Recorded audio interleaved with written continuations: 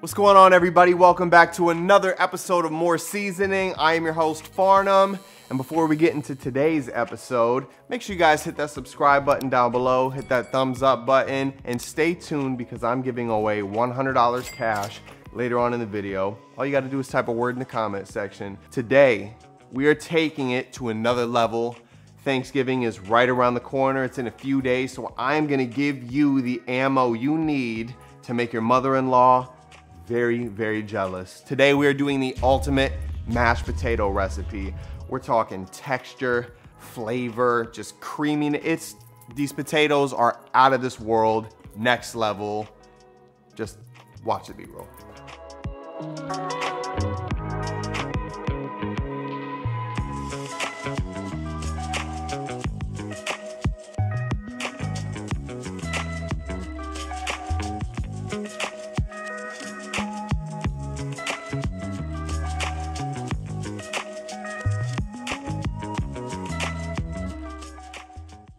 So as you guys can see, these potatoes are gonna be insane, exploding with flavor, just amazing textures in there. They're gonna set the tone at Thanksgiving for you this week. Without any further ado, it's time for the ingredients. Yukon Gold potatoes, nothing else. Yukon Gold potatoes. Hickory smoked bacon, fresh chives, fresh rosemary, a lemon, fresh garlic, shallots, Gruyere cheese, butter, heavy cream, paprika, and sun-dried tomatoes and olive oil. All right, now we're about to get into our prep work. We're gonna get everything done right now. That way when we're at the stove, we're not scrambling trying to put anything together. So first things first, preheat your oven to 400 degrees. Now I'm gonna use one pound of potatoes for this. That's gonna feed about three to four people. Obviously, whatever this recipe calls for, you scale it for as many people as you need. So I'm gonna start by putting bacon on a baking sheet with a rack on top and this pretty much just elevates it off of the baking sheet so your bacon's not cooking in its own fat and oils and it gets nice and crispy. All right, so I've got five pieces of bacon. This recipe only calls for three, but I'm gonna do a little bit extra in case I make a little more later. So you're gonna put this in the oven, 400 degrees for 15 minutes. Okay, so bacon's in the oven. Now we are going to prep out the topping which is going to be chive and lemon zest. So you're just gonna take a lemon zester. By the way, all the utensils I use in this video, you can get down in the description. I'll have links to everything there, including the knives, pots, whatever I use. I use a lot of cool shit, so it'll be down there. So you're just gonna take your lemon and then you are just going to zest away. I just like to put it down. That lemon zest is just gonna add a little bit of brightness, a little pop of citrus in there, just another way to elevate and take that potato to the next level. Chives. So we're just gonna take a few of these chives and add them to our lemon zest. And now you've got a beautiful, bright presentation that's gonna go on top of your mashed potatoes and your mother-in-law is gonna be so jealous. All right, so next we're gonna move on to our shallot, garlic, and sun-dried tomato in olive oil. We'll start with one shallot. So we're just gonna cut that right down the middle. All right, so our shallots are done. Wipe the tears away and go ahead and put your shallots into a ramekin. And there is our bacon. So we're still prepping. We're gonna have to prep the bacon as well. So I'm gonna grab the bacon out real quick. All right, so that's what our bacon looks like. I don't know if you can see, but there is so much grease on the bottom of this pan that is not in our bacon because of obviously our grease rack. Let your bacon cool off. We're gonna prep that out right after we're done with this. Next, we're gonna do our sun-dried tomato and olive oil. This olive oil right here is gonna be the secret ingredient in all of our potatoes. So go ahead and just pull one of those puppies out and then they can be a bit messy. So you're just gonna lay it out, run a few lines through them, and we are gonna put that with our onions. All right, and finally, we are going to use two cloves of garlic. Just smash those down. And then you're gonna put your garlic into a separate ramekin. So here's our bacon. It is all cooled off. As you can see, it is not dripping with oil. It's the perfect consistency. There's There's crispiness to it, but it's not burnt, you know what I'm saying? We're just gonna cut it in half, cut it right down the middle. And those three pieces of bacon are gonna give you about half a cup. Take your bacon. You're gonna take your Gruyere, you're gonna, gonna do about half a cup of Gruyere and just top that off. All right, so the hardest part about this recipe, you're gonna take your rosemary and you're gonna get half a stem of rosemary. Set in there for later. Our potatoes, the heartbeat of our dish. Get you a pot of cold water. Again, this is one pound. I measured it out. Take the end off, take the end off, and we're just gonna peel these. All right, so once you got your potato peeled, we're gonna do one cut right down the middle, another one, and we wanna get these into like one inch cubes. And then we're gonna put them into cold water. These are the best mashed potatoes you're ever gonna have in your She said it. I'm not kidding, they're the best. I'm sorry, Mom, I love you, but these are the best mashed potatoes you'll ever have in your life. One, two. Toss them in. And ladies and gentlemen, I believe at this point, we've got our bacon and Gruyere, our garlic, our rosemary, our shallots and sun-dried tomato, and our chives and lemon zest, along with our potatoes. I believe we're ready to go. So at this point, you've got everything prepped out, clean your space. We're gonna move these cameras around to the stove, and we're gonna get it popping. All right, so here we are at the stove. We've got three pans. We've got our potatoes in the cold water in one. And this one is where we're gonna sweat out our garlic, shallot, and tomato. And this one is where we're gonna make our cream sauce, our rosemary cream sauce. So we're gonna start this off. Burner on high. And in those potatoes, we're gonna add about three tablespoons of salt, Okay, so we've got about three tablespoons of salt in our potatoes. Again, this is one pound. We're gonna set a timer for 15 minutes for our potatoes, and once it hits 10 minutes, we're gonna start doing our vegetables and then our rosemary cream sauce around five minutes. So be right back. It's time to talk about the secret weapon to these mashed potatoes. And for the perfect texture and consistency, you need a potato ricer. Now, I know a lot of you are like, what the hell? I just mash my own potatoes totally do it. You're gonna have the same exact flavor.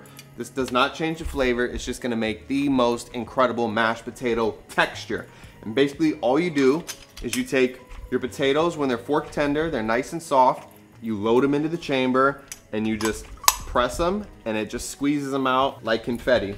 And it comes out super thin, super easy to just whip up. And I'm telling you, they're the perfect consistency. I'll link this below. They're not too pricey, like 20 bucks, maybe less, but they are amazing and this thing will last forever and you will forever have the most incredible mashed potatoes. Now it's time to do our vegetables and our rosemary cream sauce. So, your tomatoes and olive oil that you had earlier. We're just gonna do a couple tablespoons right into the pan. Just enough to make sure we cook our vegetables on. Okay, so we're not gonna saute these. What we're gonna do is we're gonna sweat them. And basically that means is we're gonna cook them really low. So they're gonna cook, but they're not gonna caramelize, they're not gonna burn. They're just gonna soften up and release all those essential oils. So we're gonna start with our densest vegetable first. That's our garlic. And we're just gonna go ahead and put our garlic in there. And we're just gonna leave our garlic in here for about two minutes. And then we're gonna add in our onion and our tomato. As you can see, our garlic is just sweating out in here. It's not burning, it's not turning brown, it's not darkening up. We've got this on basically the lowest setting that we can get. And we're just gonna continue to let that cook until it's aromatic, until you can smell the garlic, which is right about now. So now I'm gonna take our shallot and our sun-dried tomato, and we're just gonna add those in. And then we're just gonna go ahead and spread everything out so we can get an even cook on all of our vegetables. Normally it would be burnt by now, but because we've got this on such a low setting, we're just sweating it out getting all those oils, all that water out of there. And these are just continuing to just release crazy amounts of smell and flavor. All right, so our potatoes, we've got a few more minutes left until they're gonna be fork tender. We've had our vegetables in here for about four or five minutes. Next, we're gonna do our rosemary cream sauce, which is, again, just gonna elevate this to a crazy level. So, I've got half a stick of butter right here. Now, I like my potatoes to be a little more creamy, a little runny. I don't like them super thick, especially because we're gonna be putting about half a cup of cheese in there. That's gonna thicken them up. So I like to overcompensate with the butter a little bit. So half a stick of butter, and then we are gonna do half a cup of heavy cream. And we're just gonna wait until this butter is fully melted in the pan. Again, a very low heat. We don't wanna burn the butter. Our vegetables are still going, smelling beautiful. Yo, Tom, all the way over there. Can you smell these veggies? It smells amazing. Smells amazing, for sure. Okay, our butter is all melted, and now we are going to add our cream and our rosemary. Now the rosemary is tricky. You gotta be careful with this thing because this guy is potent. It will overshadow everything if you use too much or if you cook it too long. So just be aware. I'm gonna turn the heat off on both of these and just focus on this butter cream real quick. Let's add a pinch of salt, big pinch, and then a little pepper. And then we're just gonna lower that heat and just mix until this is like an eggnog. So at this point, everything is cooked. We've got our potatoes, our rosemary cream sauce, and our sweated out vegetables. We're gonna head over here, rice our potatoes, put everything together, and get straight to the taste test. This is gonna be incredible. Also, don't forget about your bacon and cheese, because this is, it's a whole new level. Let's go.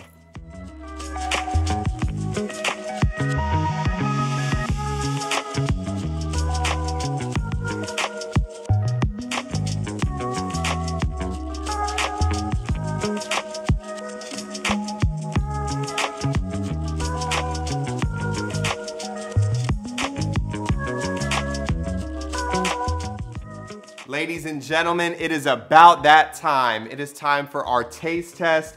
As you can see, we have got some ridiculous, ultimate, just out of control mashed potatoes in this little pot right here. And we're just, we're gonna get right to it. We're gonna try these things out. So introducing, first time on the show, good friend of mine. Welcome, my boy, Tom, Tommy boy. Come on in, man.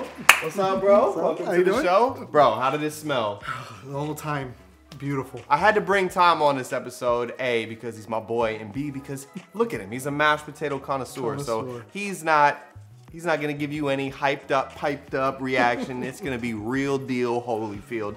Next, coming back on the show, you've seen this man many times, the Iron Man, Mike Tyson. Not really, it's Rob. I'm here. That was piped up. That was that was Yeah, I like that. I won't I won't hype the mashed potatoes up that much, but real quick, man, like tell him like the smell. Listen, the entire time I'm shooting, I'm just like, I want it right this second. He said it many times. He's like, I want to cheat. I want to eat it right now. I had to But wait. aren't you glad you waited though? Look at that. I don't know yet. Find out. We're gonna find out. It doesn't even look like mashed potatoes. Oh my God! Look at this. This is just out of control. That butter just sliding down, and we're still steaming. It looks beautiful. So we're just gonna we're gonna go right in. Just get a little bit of everything in there, and just look at the cheese.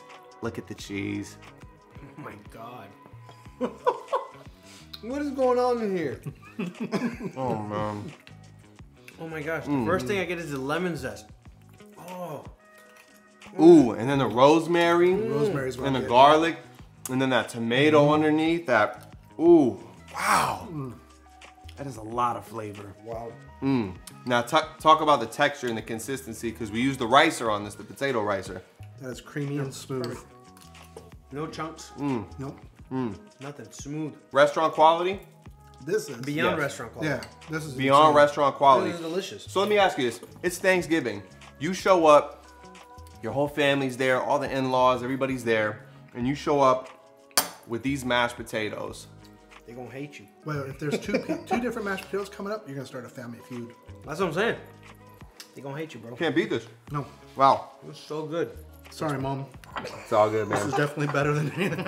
That's not my son. no, for real. Actually, I can't It's eat so this. good. I told Jaclyn I was gonna save her a little bit, so I gotta save her the rest of this. But fellas, I appreciate you coming man. on the Thank show, you, man. brother. awesome. Yeah, hopefully you guys are able to have somebody make this recipe for Thanksgiving and I'm enjoy it on. Turkey Day. Facts, bro. Facts. There you have it, ladies and gentlemen. That is our ultimate out of this world mashed potato recipe. Please, I encourage you make this on the daily or make it for Thanksgiving at least. This is a bomb recipe. I promise it is gonna blow the lid off of your Thanksgiving. It's gonna be fire. Real quick, before we leave, make sure you hit that like and subscribe button. If you made it this far in the video, you might as well join the team. And also, if you've stuck around this far, you deserve to know that you can win $100 by commenting Bacon.